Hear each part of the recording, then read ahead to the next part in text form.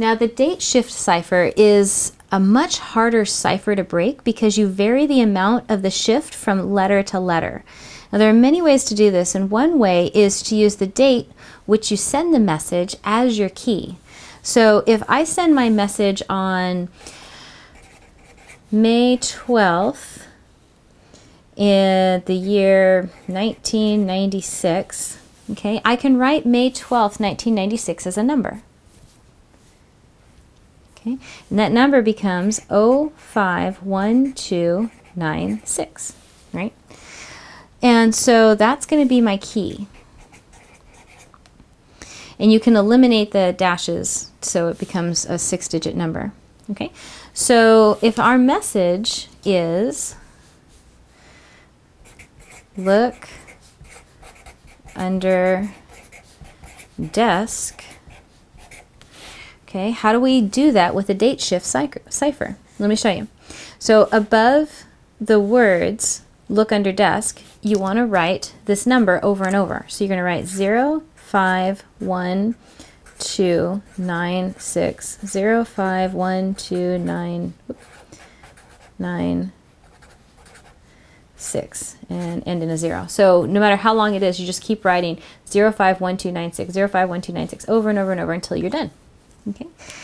And to encode the message, you're going to shift by the number of uh, that's above the letter. So for example, L has a zero shift, so that's just going to be L. But O is going to shift five, so you count.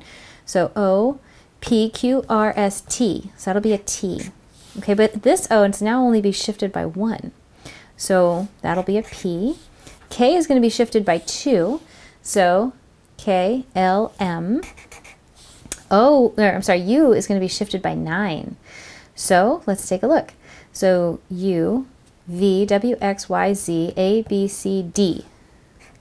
Okay, and there's my 5, so I'm going to group it in 5 so it's harder to figure out what the word is.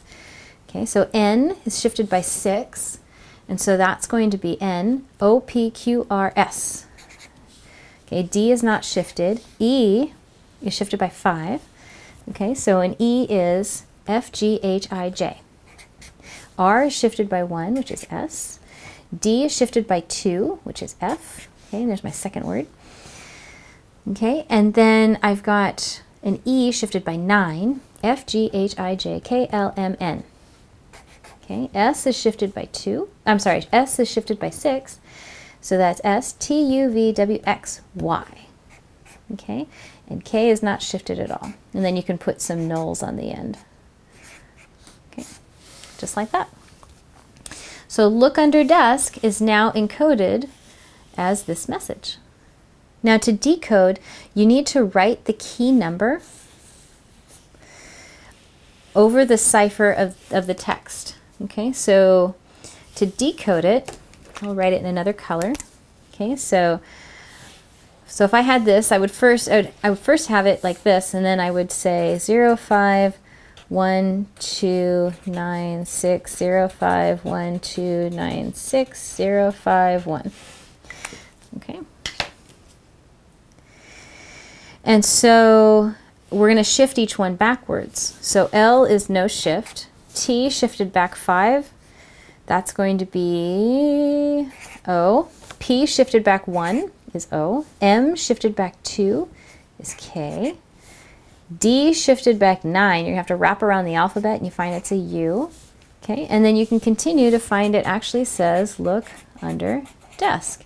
And then you'll also have that, which you can scratch off. Okay.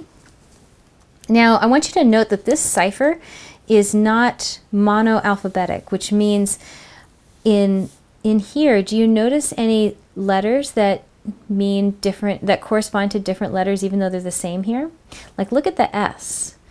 The S here is one, two, three, four, five, six letters in. One, two, three, four, five, six. So in this case, S is equal to N, but S is also equal to a letter two doors down. S is also R. That's what makes this code so hard to break. So this cipher is actually called poly alphabetic. More than one, uh, one letter can mean more than one letter in this case. Now, you don't have to use the date to provide a key number. Any number will do so you can figure out any key you want. Just make sure you do give the key to the person that you do want to decode your message.